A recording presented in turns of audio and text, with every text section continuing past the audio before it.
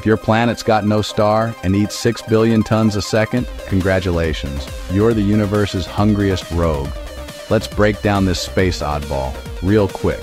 Cha 1107-7626 is a free-floating planet, about 5 to 10 times the mass of Jupiter, drifting 6 20 light-years away in the constellation Chamaeleon. It's on its own out there. It's not orbiting any star, but it's gobbling up gas, dust, from a swirling disk, 6 billion tons every single second. Record-breaking.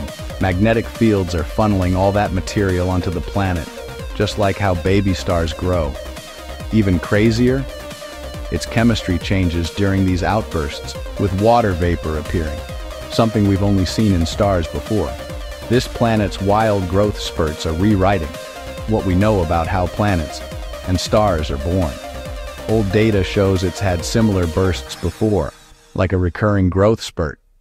Spotted with the James Webb Space Telescope, and the ELT will help find more of these lone worlds. Want to hear more space mysteries?